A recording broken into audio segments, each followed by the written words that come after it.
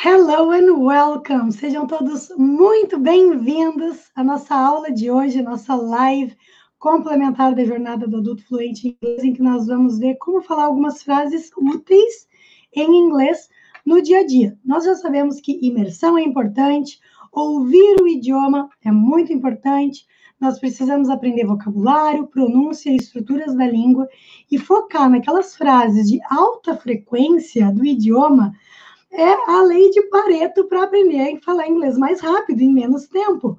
Nós precisamos focar naquilo que vai ser útil, né? E com o tempo a gente vai aprendendo todo o resto, porque uma língua tem vocabulários, estruturas, frases, gírias, mas a gente focando no que vai ser mais utilizado, a gente vê resultados ainda mais rápido. Hoje nós vamos ver como dizer desculpa te incomodar, pensando melhor, pensando bem, quando a gente muda de ideia com relação a alguma coisa.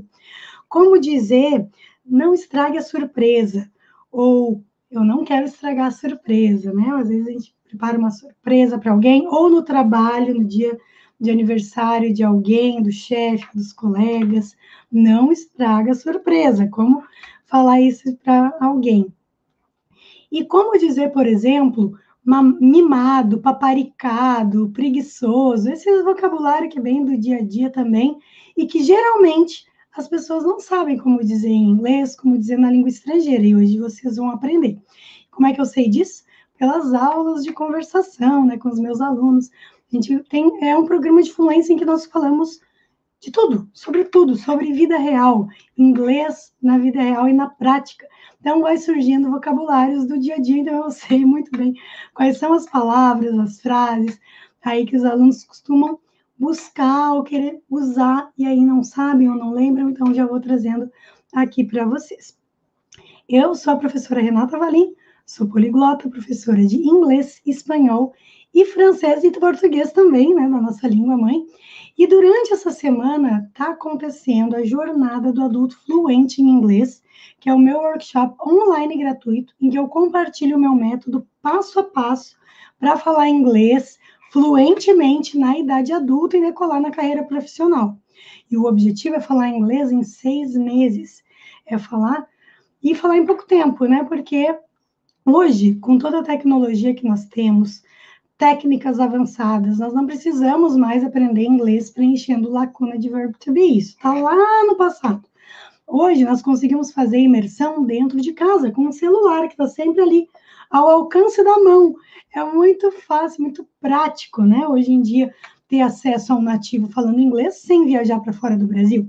Eu mesma aprendi todas as línguas que eu falo aqui no Brasil, sem viajar para fora, sem fazer intercâmbio, né, sem morar no exterior, e muitos alunos e alunas minhas também, que aqui no Brasil, sem viajar para fora, aprenderam não só o inglês, outras línguas também. São histórias lindas que mostram o caminho da fluência. Inclusive, tem uh, vídeos aqui no meu uh, YouTube, no meu canal, de entrevistas, conversas que eu tive com os meus alunos em que eles contam um pouquinho sobre a trajetória deles, ok? Aprendendo inglês e outras línguas também. Então, eu vou compartilhar minha tela, nós vamos dar início, pessoal do Instagram. Eu quero convidá-los a virem para o canal Renata Valim para vocês acompanharem os slides, as cenas dos filmes e séries que eu trouxe para exemplificar as frases e o vocabulário e a pronúncia que nós vamos aprender hoje, as estruturas. Né? Quem está acompanhando a jornada do adulto fluente sabe a importância de ouvir, a pronúncia e a questão das estruturas em inglês, que são diferentes do português, e hoje isso também vai ficar claro aqui com alguns exemplos que eu trouxe. Então, o link está na bio, também está no story, ok? Aguardo vocês aqui. E quem está aqui, que é novo por aqui, não conhecia o canal, né, não, uh, nunca esteve aqui antes numa live, quero convidar a se inscrever, ativar as notificações no domingo nós temos uma live de encerramento do workshop com muitas surpresas, né? Sorteio não só do curso de inglês, mas do espanhol e francês também. Então, vai ser um felizardo que vai ser poliglota, né? Então, ativem as notificações, tá? Inclusive, tem aqui na descrição dessa live, tem o link para o workshop, para vocês assistirem aula 1 e aula 2, que já estão no ar, e amanhã às 8 horas da manhã, tem uma aula completa de inglês, com os materiais de inglês para download, porque aqui nas lives nós focamos em frases, né? Sempre com contexto, áudio, pronúncia. Mas como trabalhar e como aplicar o método com um material mais longo, com uma cena inteira de um filme ou de uma série, por exemplo? Amanhã vocês vão ter essa oportunidade, né, de ter aula inteira com o meu método, aprendendo com uma cena.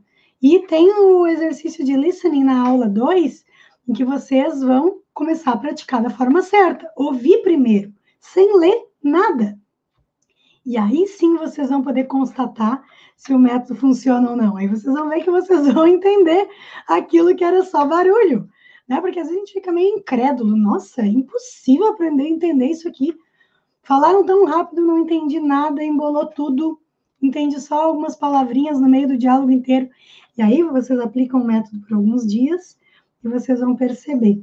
Com a aula de amanhã, 100% do diálogo que nós uh, enviamos por e-mail, WhatsApp, Telegram, e também está disponível né, o exercício de escuta na página do workshop, vocês vão constatar que é possível entender aquilo que era só barulho, vira uma mensagem, começa a fazer parte do nosso repertório de entendimento, depois faz parte do nosso repertório de uso, e é assim que se começa a construir a fluência sem segredos. É prática, não é mágica. Parece mágica, mas não é. Ok, pessoal? Eu vou compartilhar minha tela a partir de agora. Já deu tempo, pessoal, aqui do Instagram migrar aqui para o YouTube.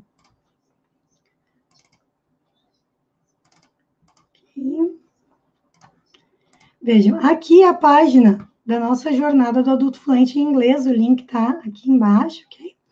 Ah, na descrição. Aqui nesse botãozinho, ó, no celular ele fica logo acima do vídeo, no computador ele fica aqui na lateral. Vocês baixam o PDF. Aqui na aula 2 tem o exercício de escuta. Tá? Então, clicando aqui, vocês vão ser direcionados para o exercício. E aí é só vocês preencherem com os dados. Ó, 1.314 pessoas já responderam esse exercício. Né? Então, aqui vocês preenchem os dados ali com o nível de vocês, e aí vocês escutem aqui e respondam embaixo, ok? Eu estou vendo aqui como é aqui, ó, aqui depois tem o enviar para responder, enviar a resposta de vocês, eu recebo, ok? Então, e aí o gabarito dessa atividade está na aula de amanhã, ok? Na aula de amanhã, 8 horas da manhã, vocês vão poder constatar tudo que está sendo dito nesse áudio, tudo que está sendo dito aqui nessa cena com transcrição, tradução, pronúncia, aula completa de pronúncia, amanhã, né, e vocabulário, estruturas, tudo que vocês já sabem que é imprescindível para chegar à fluência, certo? Então, vamos lá. Hoje é uma aula complementar com frases úteis em inglês para o dia a dia. A gente precisa fazer imersão, mergulhar na, na língua, né, ouvir as pessoas falando e focar em algumas frases que vão ser úteis, que nós só sabemos que vão ser úteis, mas cedo ou mais tarde a gente vai precisar delas, e aí a gente sabe, né? Não fica perdido. Então, lembrando que no dia 20, domingo, vai ter live de encerramento do workshop, ok? Vocês viram que tem quatro videozinhos para ser liberados lá na página do workshop. Dois já estão liberados, o outro vai ao ar amanhã, e o quarto vai ser aqui a nossa live, né? Que vai acontecer às 17 horas, horário de Brasília, horário de São Paulo. Quem está acompanhando de outro país, tem muitas pessoas de outros países acompanhando, né, ou brasileiros, ou portugueses, uh, né, angolanos, enfim, que moram em outros países, e aí vocês precisam verificar a diferença de fuso horário, e ativem o lembrete, o link da live já está aqui na descrição, então vocês podem entrar ali e ativar, e também se inscrevam no canal, ativem todas as notificações para vocês não perderem por nada, porque além do sorteio do curso de inglês, quem ganhar o curso de inglês vai ganhar também de quebra o espanhol e o francês, certo? Então, serão três cursos, ok? Que a Felizardo, a Felizarda vai ganhar e ser poliglota, assim como a minha aluna Núbia, por exemplo, né? Que hoje ela está com 57 anos, aqui no vídeo ela fez, ela tinha 56. E aí, depois desse vídeo, ela ainda fez o curso de espanhol, ou seja, ela fez o inglês, o espanhol e o francês. Para quem acha que idade é limitação, para quem acha que aprender língua é muito difícil, aprender uma, aprender o inglês, três. Então, aqui na descrição dessa live também está o link da, da, da, conversa que eu tive com a Núbia, aqui no meu canal, uma conversa de aproximadamente uma hora em que ela contou toda a trajetória, como foi com cada um dos idiomas, ok? Hi, my name is Novia. I'm a student of the Renata Valins English course. I'm 56 years old. I'm psychologist. I was born in Rio de Janeiro, but since 2001, I live in Niterói with my family, my husband, my daughter, and my son. I had already studied English when I was a teenager but when I entered to the university, I stopped because I didn't have any time to continue my studies.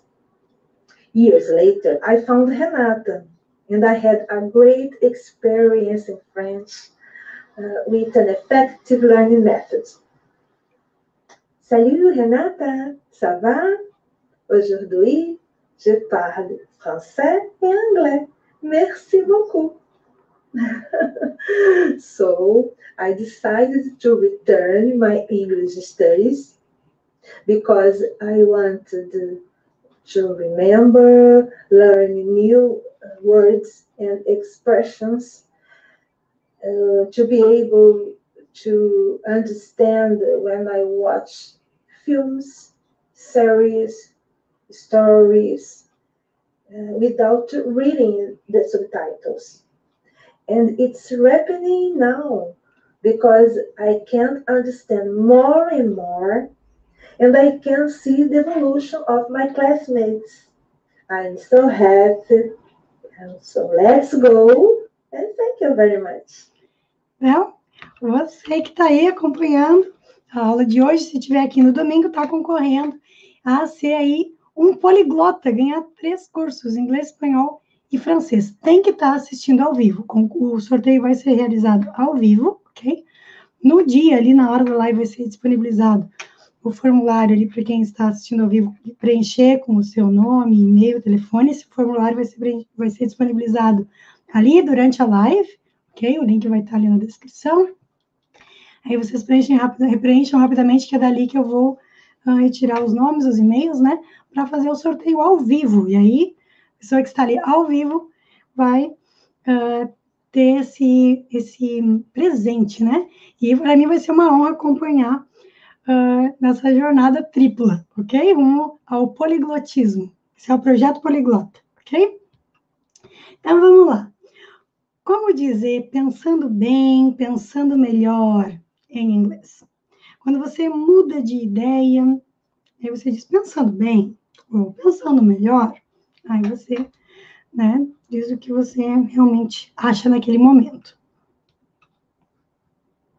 On second thought, on second thought, second thought, on second thought.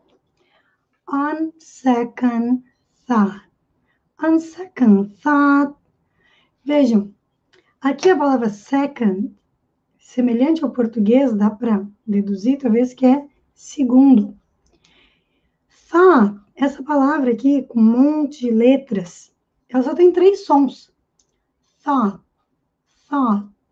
Esse U, G, H não são pronunciados. E esse T é bem sutil. Então, é diferente do português, não é thought. É thought, thought. A gente faz um corte de ar e o som termina, ok? On second thought equivale a pensando bem, pensando melhor. E de cara, complementando a aula 2 do workshop, quem já assistiu, quem não assistiu, uh, pode acompanhar aqui a live depois, assistir a aula, né, completa lá com o método passo a passo, tem que ver todas as aulas, tem que ver na sequência, vai ser um divisor de águas aí no aprendizado de vocês com uma fluência. Como vocês podem ver de cara, em português são duas palavras, pensando bem, ou pensando melhor, porque são sinônimos, essas duas frases significam a mesma coisa e em inglês são representadas por essa frase aqui.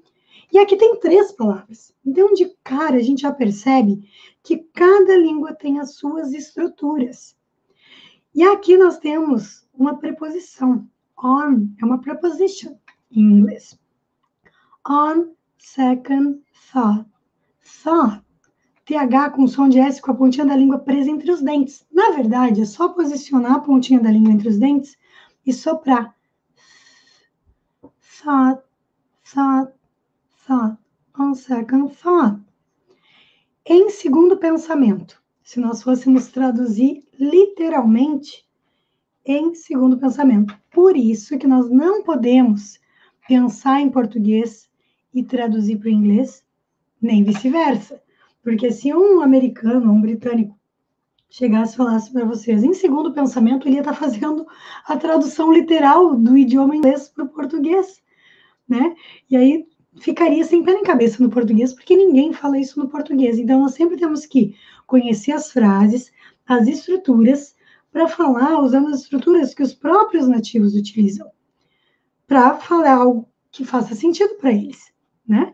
Assim como em, em segundo pensamento, talvez não ficasse claro para nós o que eles queriam dizer. E é o mesmo caso se nós traduzíssemos literalmente. Então, é preciso treinar as estruturas. On second thought, on second thought. Second, second é aberto ou com som A, N na ponta da língua e um D também, fazendo um corte de ar. Second thought. Aqui nem precisa pronunciar o D. D e T depois de N não costumam ser pronunciados. Muitas vezes não são. On second thought. On second thought. On second thought. On second thought, no. On second thought, no. On second thought, no. On second thought, no. On second thought, no. On second thought, no. Pensando bem, pensando melhor, não. Ou seja, ele tinha dito que sim, ele tinha concordado com alguma coisa, né? Chegou nesse contexto. E aí ele diz, pensando bem, não. Ele mudou de ideia. On second thought, no. Vocês já conheciam essa expressão, essa estrutura da língua inglesa? E lembre-se de treinar, né? Uh, mesmo no Brasil, nós podemos estar tá sempre revisando.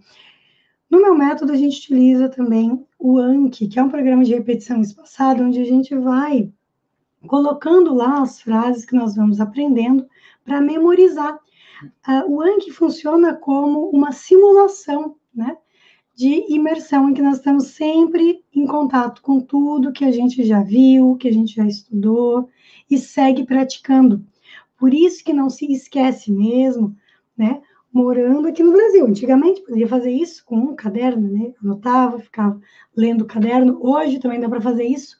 Porém, utilizar um programa de repetição espaçada é muito eficaz porque ele vai avaliando quais frases a gente precisa revisar mais, com mais frequência, e quais a gente precisa revisar com menos frequência. Então, no momento que nós estamos revisando as frases no Anki. E aparece lá, on second thought. Você escuta no Anki, você pode ver por escrito, você pode até colocar um vídeo lá no Anki, o áudio MP3, enfim. E aí você avalia se você lembra o que significa isso, você vê se você entendeu. E aí você dá uma resposta. Se entendeu, né? Se foi fácil, se foi difícil, se foi bom, mas não foi tão fácil assim, ou se você errou. Isso dá inteligência para esse programa, e ele sabe quais que já está na sua memória de longo prazo e quais que ainda não estão e que precisam ser revisados com mais frequência. Então, todos os dias abrindo esse programa, uh, o, os alunos, né, o, ele existe gratuitamente para baixar na internet, tá? Só que a diferença é que ele vem vazio, zerado, não tem nada de inglês lá, nem de nenhuma língua, nem de nada. Somos nós que vamos, né? Cada pessoa que vai alimentando o Anki. No meu programa de fluência, os alunos já têm os baralhos prontos, todos os materiais do curso, dos materiais bônus, né? Muitos materiais extras, já vem prontinho para os alunos estudarem e praticarem, né? Mas é, é um recurso, uma outra ferramenta, né? Muito importante hoje em dia para o ensino, aprendizagem de línguas. Ele foi feito pelos japoneses para aprender idiomas. Então, Você vai lá, abre, abre o Anki todos os dias, vai ter as frases que você acrescentou, frases que você estudou, e aí vai estar lá um thought, por exemplo.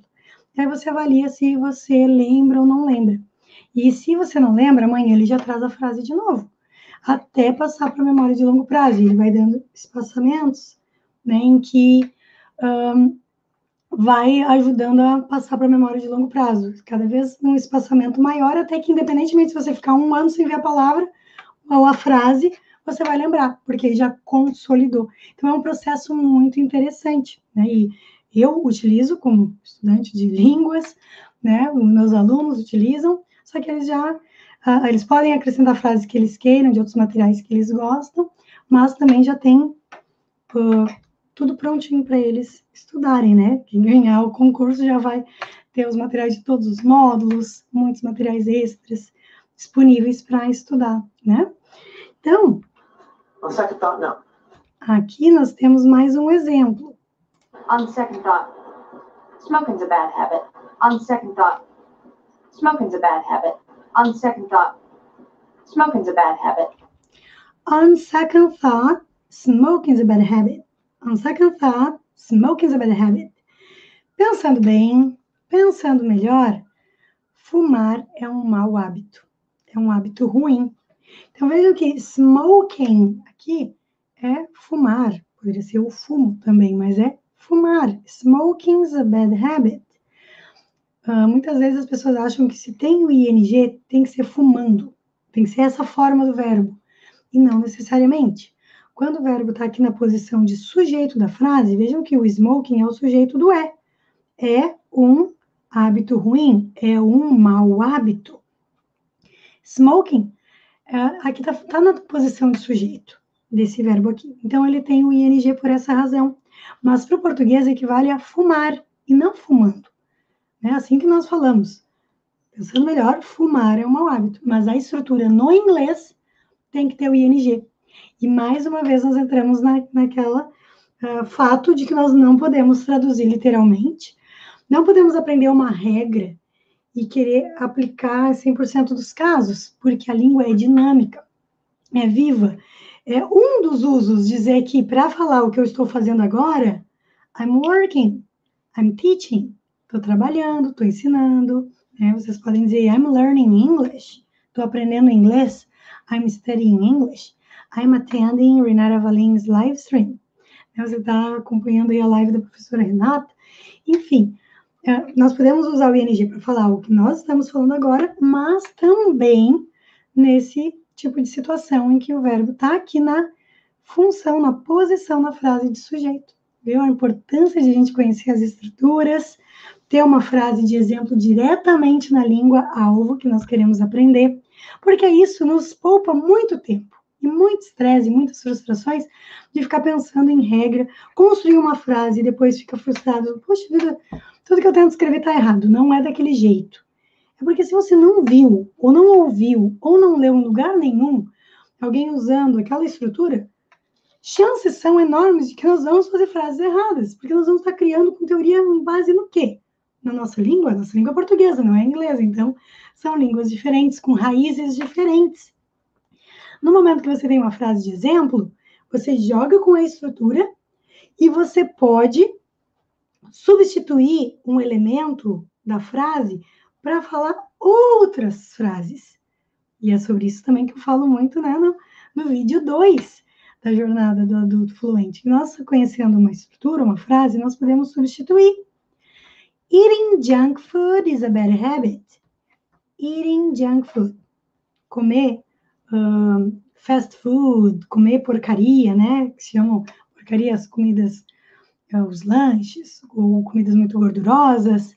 Eating junk food is a bad habit. Eu posso substituir o fumar por comer porcaria, né? Então, is a bad habit. Tá? Então, a gente aprende uma, uma expressão, on second thought, e de quebra já aprende gramática, vocabulário e pronúncia, praticamente sem esforço, quando nós estamos em imersão com a língua, aprendendo com frases completas e com áudio, porque aí vocês já sabem a pronúncia e vocês aprendem muito mais. E esse é o segredo, né? Vamos dizer assim, se é que há algum segredo, para aprender mais rápido. Nós não podemos focar em uma coisinha de cada vez, em listinha de palavras. Nós precisamos ter acesso ao inglês. Tendo acesso, naturalmente nós vamos conhecer as estruturas. Mas para isso é preciso contato diariamente. Né? Eu recomendo ali uma hora por dia é possível ter esse contato, essa imersão, ouvindo inglês todos os dias, falando, lendo, escrevendo por 15 minutinhos, ok? 15 minutinhos para cada habilidade, né? numa média de uma hora, podendo ouvir enquanto vocês estão fazendo outras atividades. Hoje, né, lavando louça, ouvindo italiano. Então, a gente faz uma atividade e vai praticando o, o, o idioma, o inglês, né? Que vocês querem aprender, porque a vida de todo mundo é corrida, a gente tem que usar o tempo ali que uh, a gente não está uh, ah, muito focado, né? Não precisa prestar muita atenção, aí a gente ocupa nossos ouvidos para ouvir o idioma, né? Treinar a pronúncia, praticar vocabulários e estruturas, né? Isso que é o, o bom de hoje em dia, essa tecnologia, esse recurso todo que nós temos. On second thought, smoking's a bad habit. Como dizer desculpe te incomodar em inglês? outra frase muito útil para o dia a dia. Nós precisamos sempre ser muito educados. Uh, às vezes é ao telefone que nós podemos dizer essa frase, ou a entrar numa sala, falar com alguém, né? Muitos contextos diferentes. Sorry to bother you. Sorry to bother you. Sorry to bother you. Sorry to bother you. Sorry to bother you. Sorry to bother you. Sorry to bother you.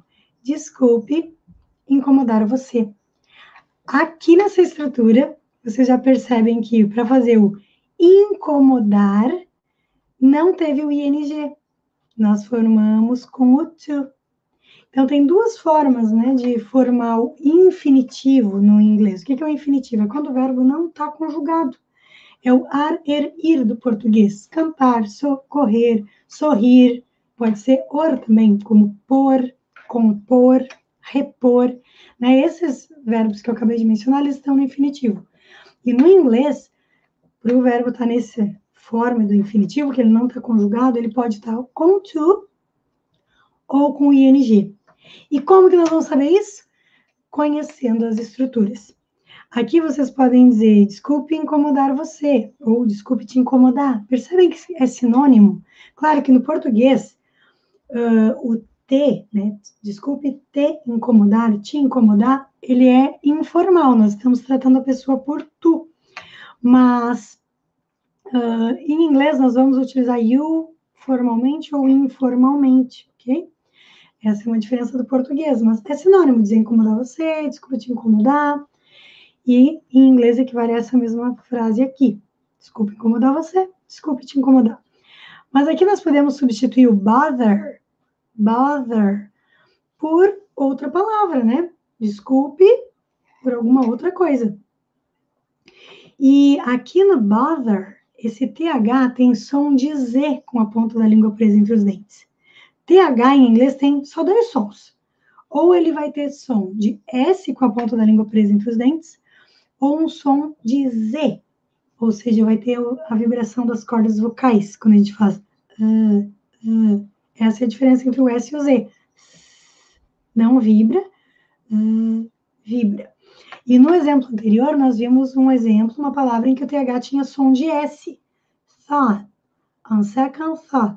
Aqui, bother. Bother, som de Z. Então, é o TH com sons diferentes em cada uma dessas duas palavras. E aí, a pergunta que vem é: mas, professora, como é que eu vou saber se é som de S ou se é som de Z? Nós precisamos ouvir a língua, ou acompanhar uma aula de inglês, né, como essa, em que uh, nós já vamos aprendendo a pronúncia das palavras. Mas, vendo a palavra por escrito, sem ter o áudio, sem ter ali um professor te orientando de como pronunciar, não tem como saber. Você vai ver a palavra pela primeira vez e vai, já sabendo dessa informação, pensar, ok, aqui pode ser som de S ou som de Z. Aí você precisa ouvir, né? Para ouvir, uh, se é um material com áudio, que eu recomendo que sempre usem materiais com áudio, Né? Começar pela leitura é começar na contramão. Ah, vou aprender inglês. E pega um livro, começa a ver só coisas por escrito e não pratica o áudio.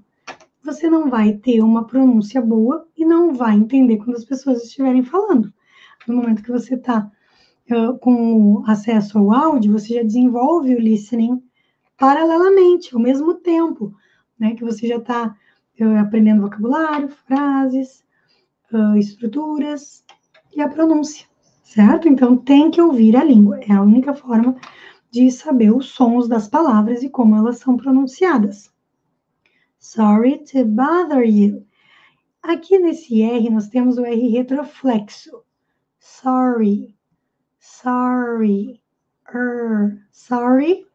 Tá? Então é virando a língua para trás, tocando o céu da boca. Sorry, to, to, to. Veja uma sutileza, não é to, to, to, é to, to. Como se fosse um S depois do T. Imagina que está abrindo uma latinha de refrigerante.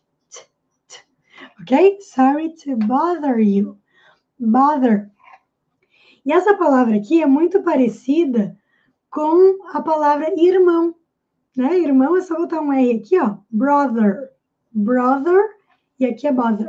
Só que tem, além das, apesar da semelhança na escrita, uh, em termos práticos, elas têm funções completamente diferentes, por isso que a gente não confunde. Aqui é uma ação, a gente percebe pela posição, pela estrutura, esse to aqui está introduzindo o verbo. Então a gente sabe que aqui é uma ação, é um verbo que tem que vir aqui. E quando a gente conhece a estrutura, a gente sabe, se eu botar um outro verbo aqui, que eu mantenho a estrutura correta, né? E vou estar tá falando certinho, sem estar tá pensando em regras, vou montar uma frase correta para dizer alguma outra coisa, tá? Sorry to come late, sorry to arrive late, por exemplo. Desculpe chegar tarde, desculpe chegar atrasada. Né? Então, a gente pode substituir por outro verbo aqui. Sorry to bother you. Sorry to bother you. Sorry to bother you. Sorry to bother you. Sorry to bother you. Sorry to bother you.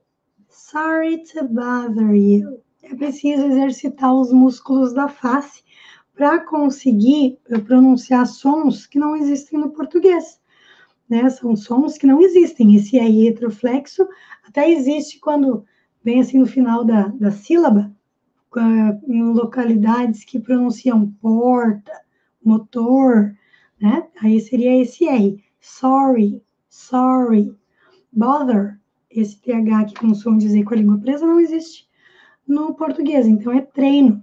Não é no primeiro dia que vai ficar bom. Tem que treinar e treinar, treinar, porque é uma habilidade. E como habilidade requer treino diário. Como dizer mimado ou mimada em inglês? You're pampered. You're spoiled. You're pampered. You're spoiled. You're pampered. You're spoiled.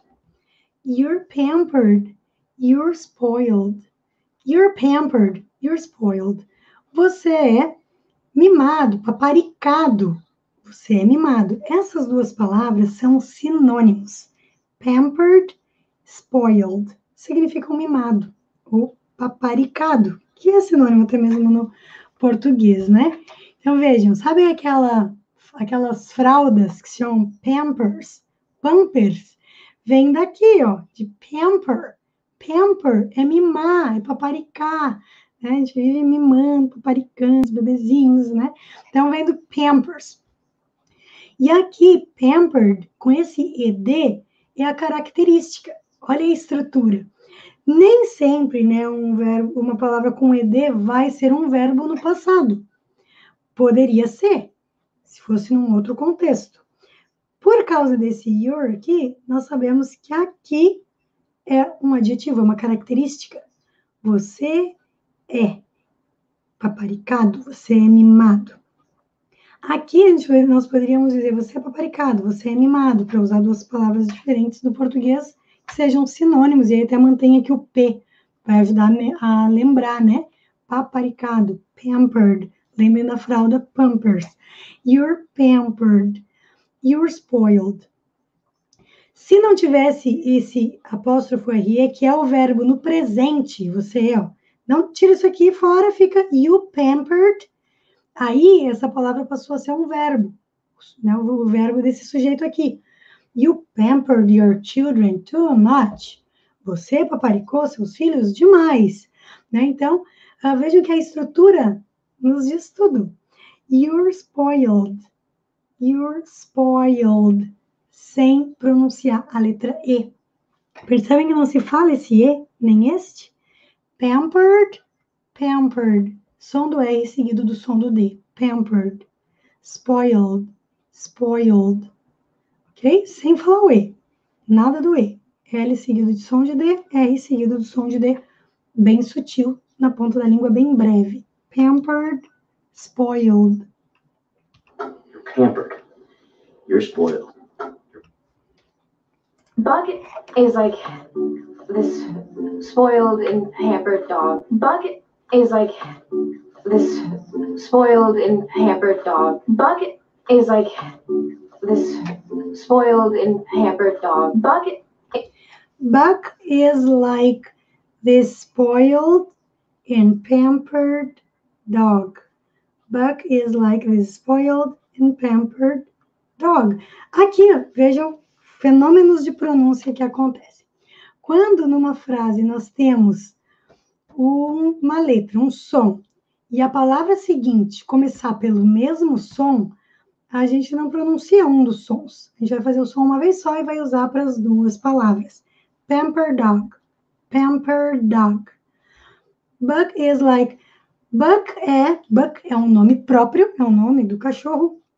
É tipo, esse like, que é o verbo gostar em outros contextos, muitas vezes é como, para fazer comparações, né?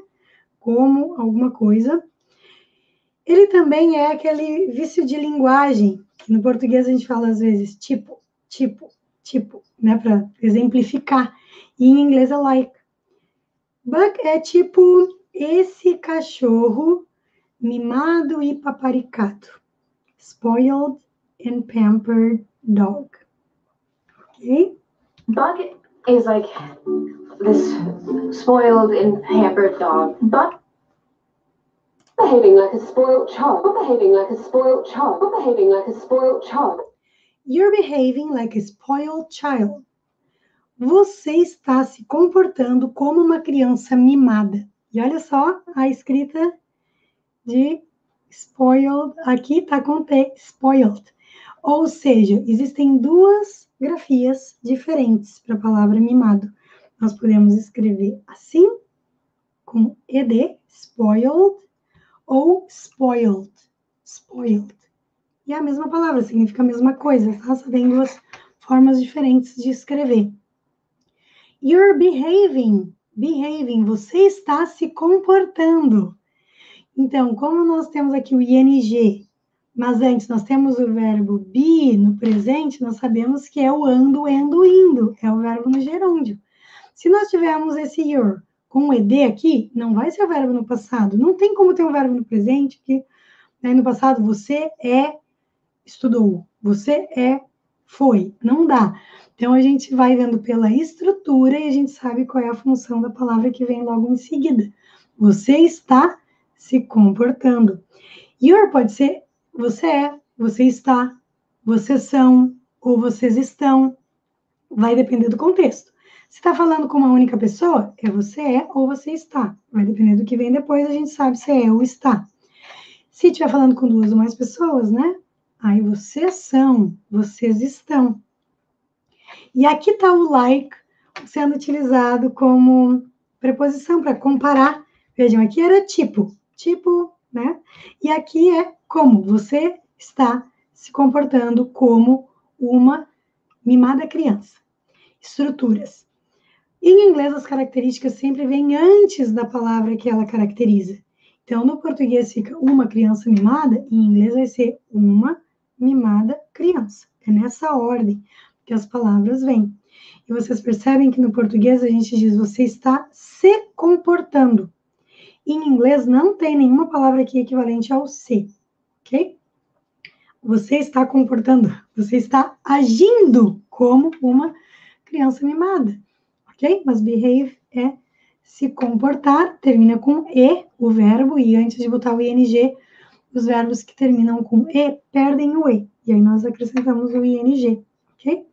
You're behaving like a. Olha a conexão do som aqui, ó. O e não é pronunciado, então o K emendou lá com o A. Esse e também não é pronunciado. You're. You're behaving, sem pronunciar a letra G. Like a spoiled child. Spoiled child. E com som I. Child. E o plural de child é children. O I muda de som nessas duas palavras. Acrescentando EN, E de elefante e N de navio, a palavra ficou no plural. É um plural irregular em inglês, sem o acréscimo da letra S. É children, é plural, child é singular. Veja, uma frase bem útil né, para o dia a dia. Você está se comportando como uma criança. You're behaving like a spoiled child. Uma criança mimada. You're behaving like a spoiled child. You're behaving...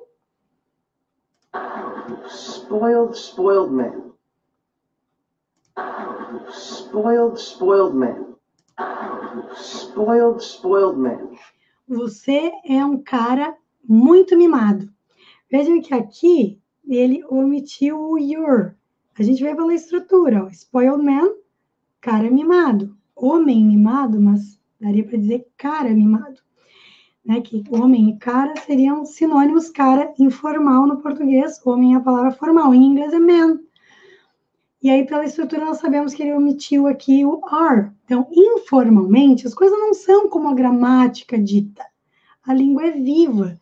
E esse spoiled, spoiled, para dar uma ênfase, seria o mesmo que dizer very spoiled.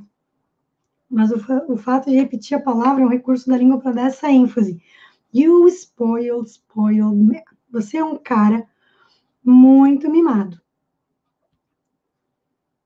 Bad, bad spoiled children. Bad, bad spoiled children. Bad, bad spoiled children.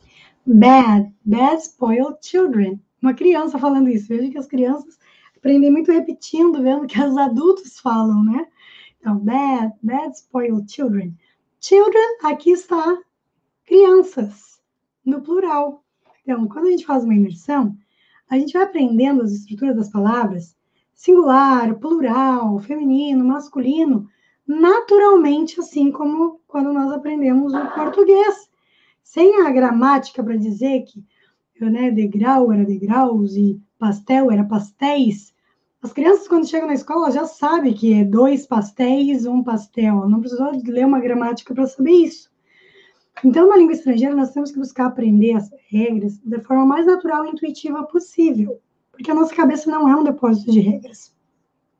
Então, tendo a frase de exemplo, a gente vai retendo essa essas regrinhas de forma natural, sem pensar na regra.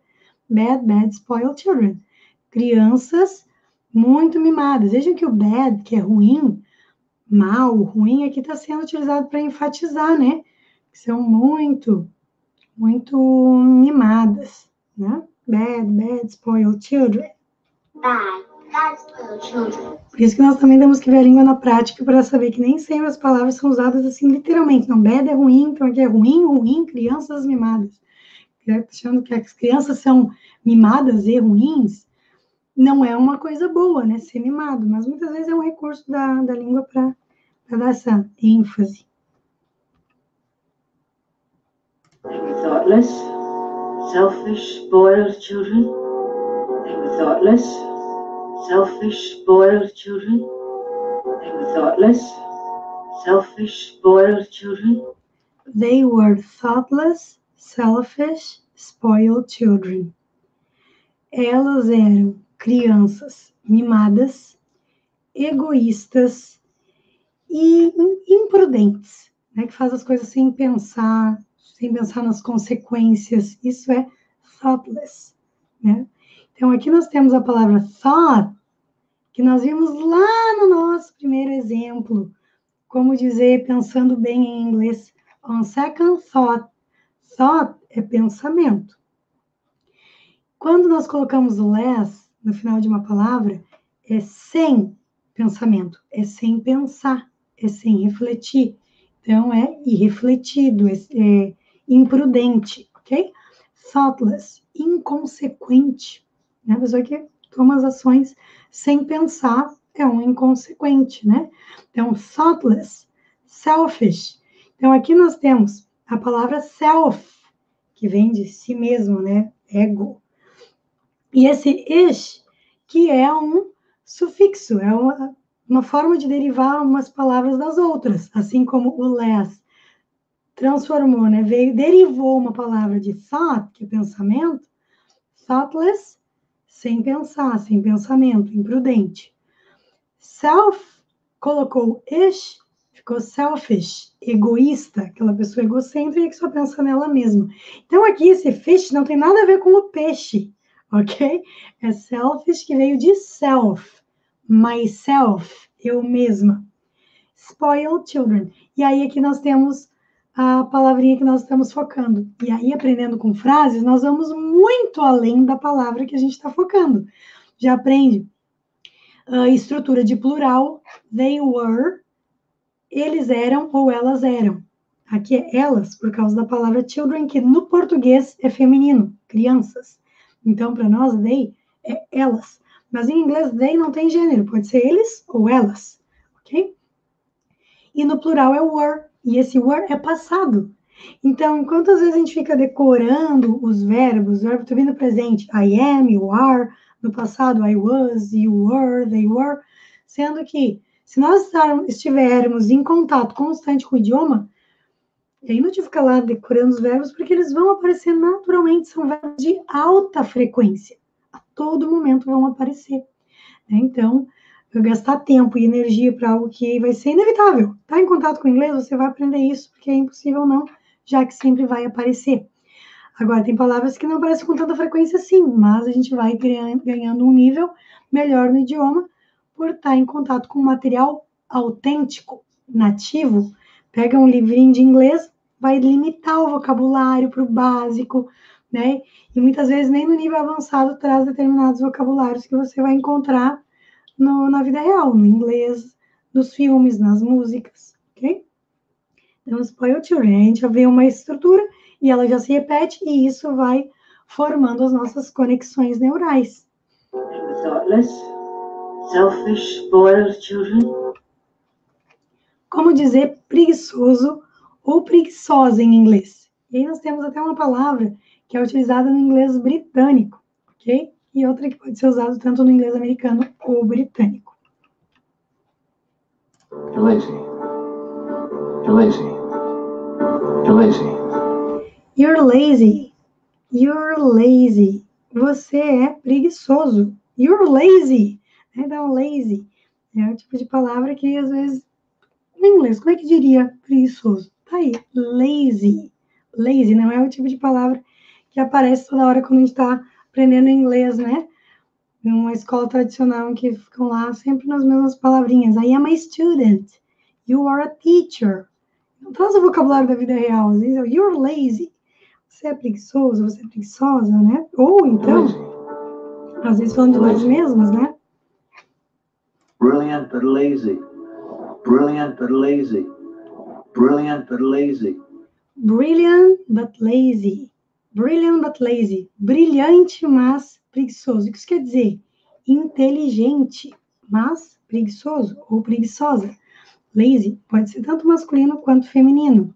Brilliant, brilhante, né? Usado também como no sentido de inteligente. Muito inteligente, mas preguiçoso. Brilliant but lazy. But I'm a lazy, lazy man, Roger. But I'm a lazy, lazy man, Roger.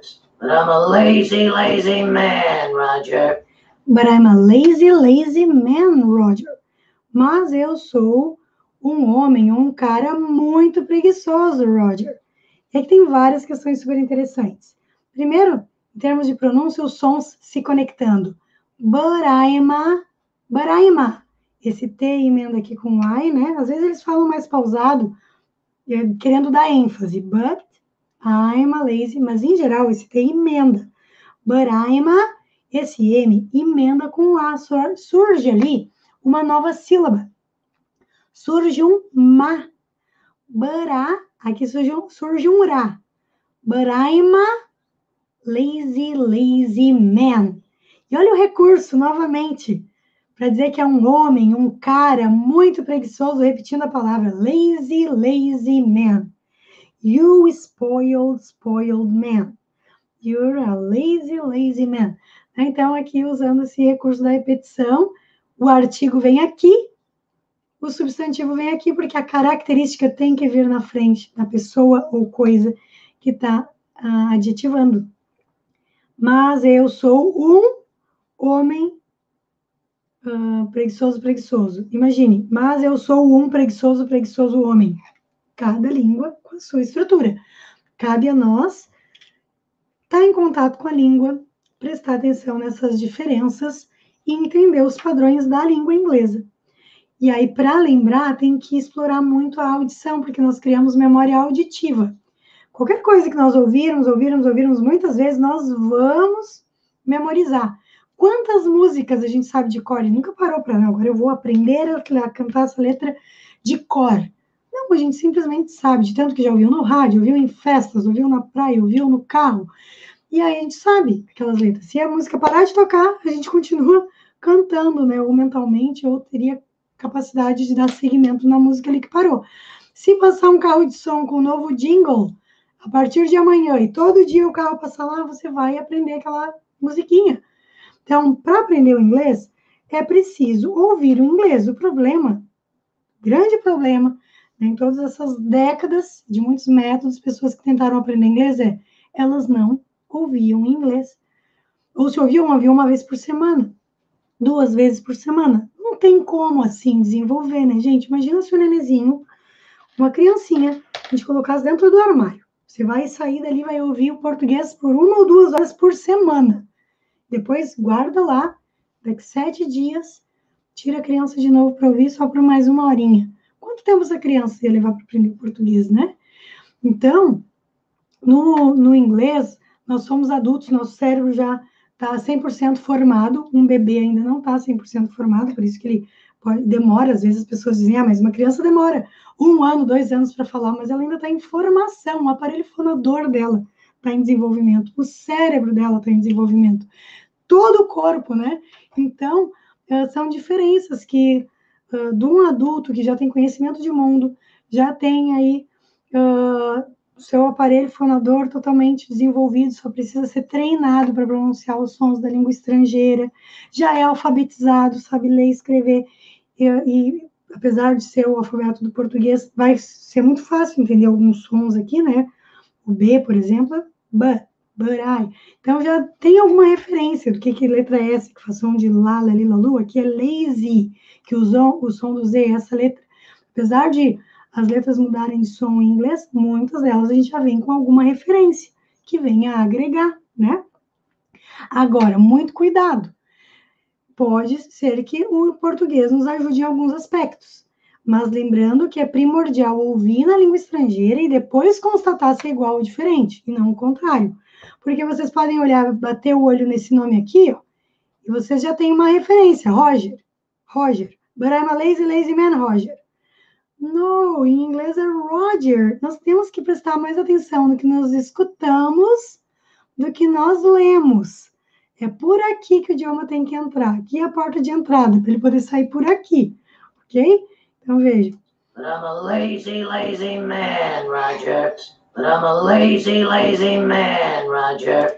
But I'm a lazy, lazy man. Esse N na ponta da língua. Man, não é man, man, man. Roger, Roger. Com R retroflexo. Ro, Roger. O G com som J, J, Roger. E tem R retroflexo no início e no final da palavra. Roger, Roger, Roger. Ok? But I'm a lazy, lazy man, Roger. We're a pimpin' irresponsible layabout. We're a pimpin' irresponsible layabout. We're a pimpin' irresponsible layabout. You're a pampered, irresponsible layabout. Você é um preguiçoso, irresponsável e mimado. Aqui tá falando para uma mulher, então você é uma preguiçosa, irresponsável e mimada. Né? Então, essas palavras podem servir tanto para o masculino quanto para o feminino.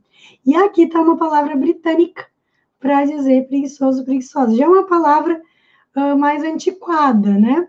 Layabout, mas que envolvendo aí materiais autênticos em inglês que representam uma outra época, né, no passado, vocês podem encontrar. E é assim a gente vai ampliando o nosso vocabulário. Sabem que tem a palavra lazy, tanto no inglês americano e britânico, mas que no inglês britânico também tem o layabout para preguiçoso, né, preguiçosa. E é uma palavra já mais antiquada, né? Vocês vão encontrar em alguns materiais assim mais antigos. Pampered, no inglês americano, é, no inglês americano se pronuncia o E, mas no inglês britânico não se pronuncia pampered, pampered. Irresponsible, esse aqui se pronuncia irresponsible, irresponsible. Então vejam, aí nós já começamos a mesclar os conhecimentos que nós tivemos ao longo aqui da aula. Nós já vimos uh, preguiçoso junto com a palavra mimado na mesma frase, porque tudo tem um contexto. Uma forma de aprender o inglês, né, sem ficar traduzindo ou pensando em português, desenvolver o pensar em inglês, é criar imagens, sensações. Em vez de olhar a palavra, uma determinada palavra, e pensar nela na tradução exata do português, aqui para motivos didáticos eu estou falando da tradução, mas é vocês terem referências mentais. Né? Se vocês conhecem alguém que é mimado, associe aquela pessoa à palavra pampered, em vez de pensar na palavra em português. Irresponsible. Né? Se tem alguma pessoa que vem à mente como irresponsável, né? associem a, a, a, uma imagem, para vir uma, uma imagem mesmo, como se fosse uma foto, né? em vez de uma tradução literal ou então uma sensação, porque as palavras podem ser positivas ou negativas. Quando se fala em love, amor, uma, uma sensação boa que nós sentimos ao ouvir a palavra em português e essa mesma sensação que a gente tem que trazer para a língua estrangeira, né? Uh, aprender línguas, fluência, está intimamente ligada às emoções, né? A gente tem que trazer isso para a nossa realidade. Então, quando se ouve uma palavra negativa, uma palavra ruim, como por exemplo, hurt. Hurt é magoar, ferir, dor.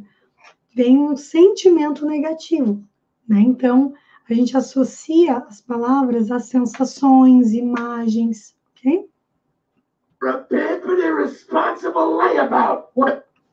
E para finalizar a aula de hoje, como dizer em inglês, não estrague a surpresa, não estrague tudo.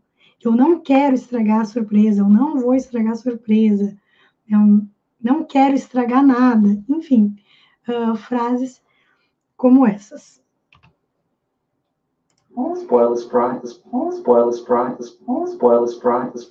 Don't spoil the surprise. Don't spoil the surprise. Spoil. Não estrague a surpresa. E aí, olha que interessante, que palavra que surgiu aqui spoil. Lembra da criança mimada? Spoiled. Child. Spoil é estragar. Então, quando eles dizem spoiled child, que é uma criança mimada, é como se fosse uma criança estragada. Ela foi mal criada, foi mal educada, ela foi estragada por ser muito paparicada muito mimada. Então, tem essa associação. Don't spoil the surprise. E respondendo a pergunta da Cláudia Tavares, né? Eu li ali, só tem outros usos, Renato? Yes, it does. E aqui vai surgir outros usos da palavra spoil, ok? Don't spoil the surprise. Don't spoil the surprise. Não estrague a surpresa. Lá tinha o ED ou o T, porque era a característica, né? Mimado, né? E aqui não. Quando você vai dar uma ordem ou fazer um pedido negativo, não faça tal coisa. Começa por don't. Don't spoil, termina com som de L. L de lata, não vai ter som de U, como costuma ter no português. Palavras que terminam com U no português, com L, né? Se costuma pronunciar com som de U, carrossel, carretel, pincel. E aqui, spoil. A ponta da língua sobe e vai lá atrás dos dentes superiores. Don't spoil the surprise. the surprise. R retroflexo. Surprise. U com som A. U, R, E, R e IR em inglês tem som er. Surprise. Don't spoil the surprise.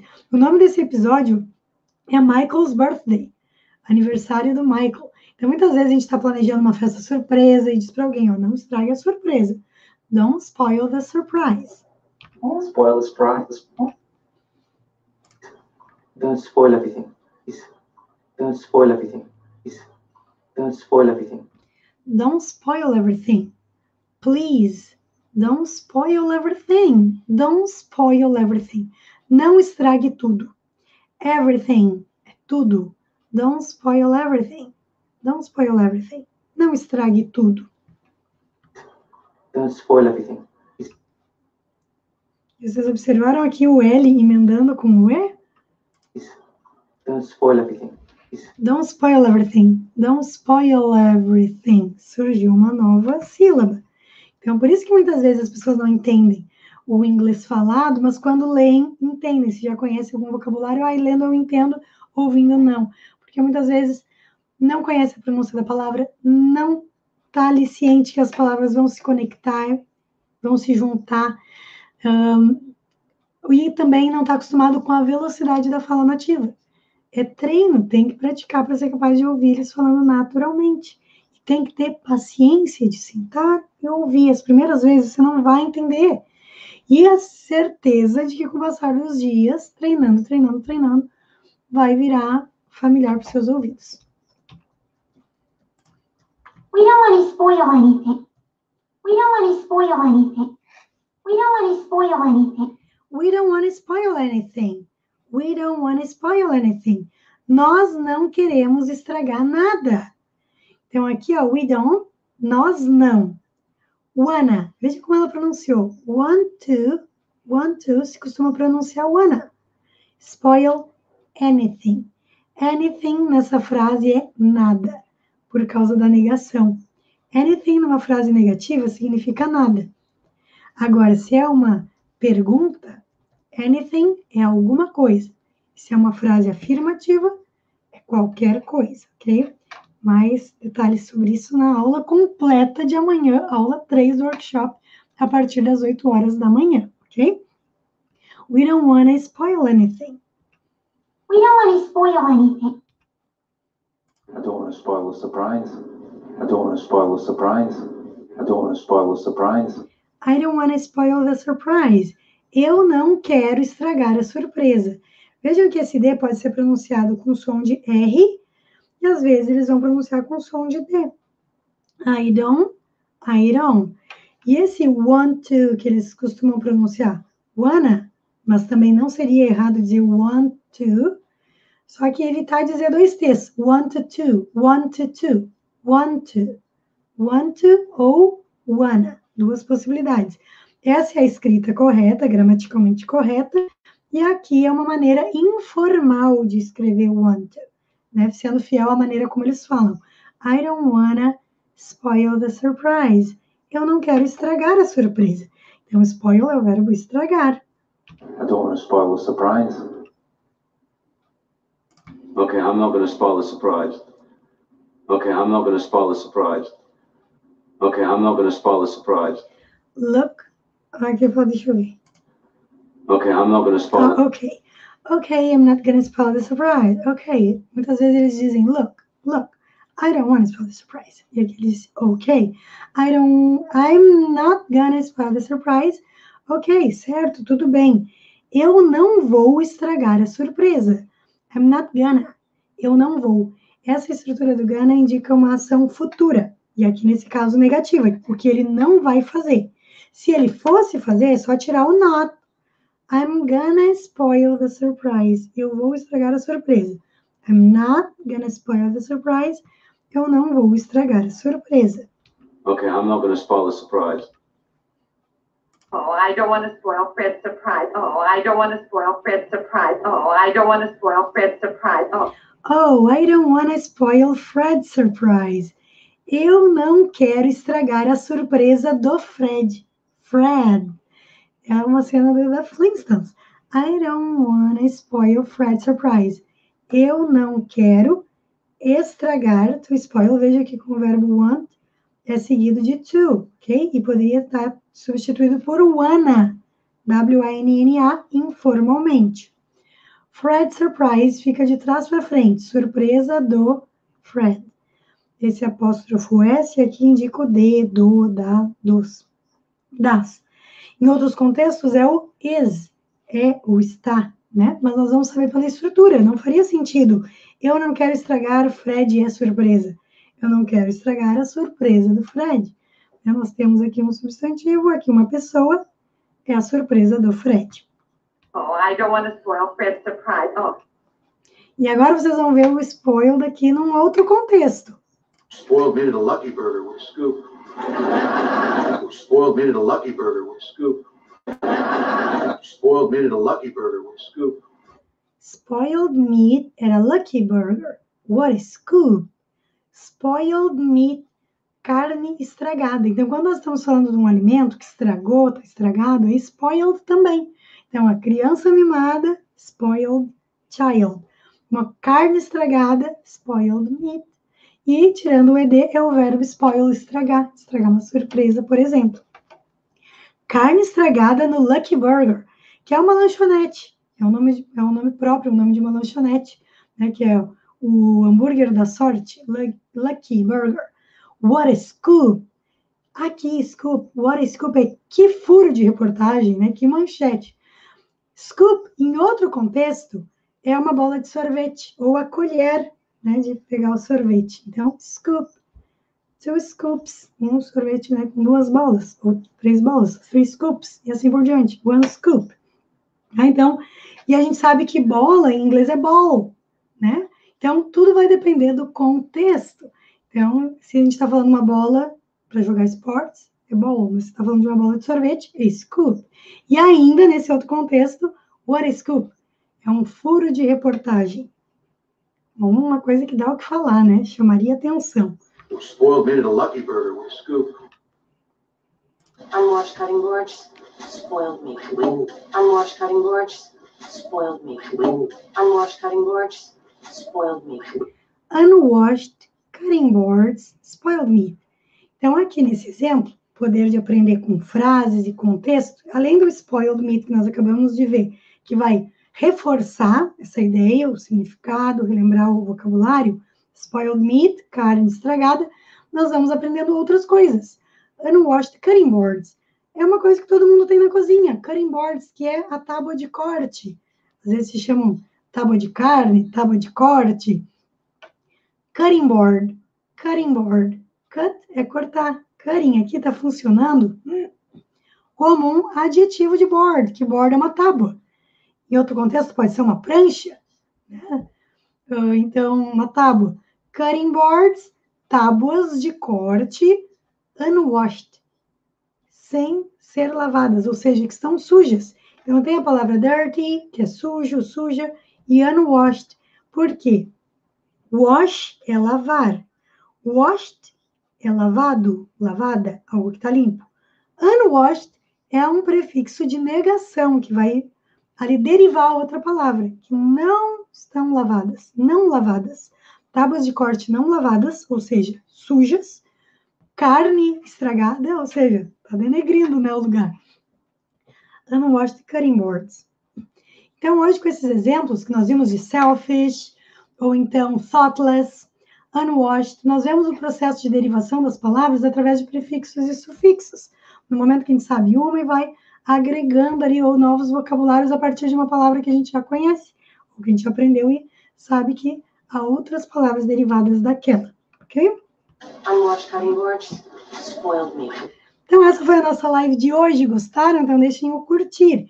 E lembrando que amanhã vai a aula 3 do workshop no ar às 8 horas da manhã e domingo, dia 20, às 17 horas, nós temos a live de encerramento, ok?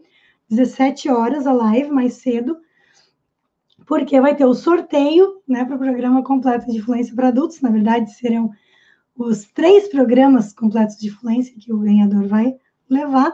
Então, mais cedo por causa das diferenças de fuso horário.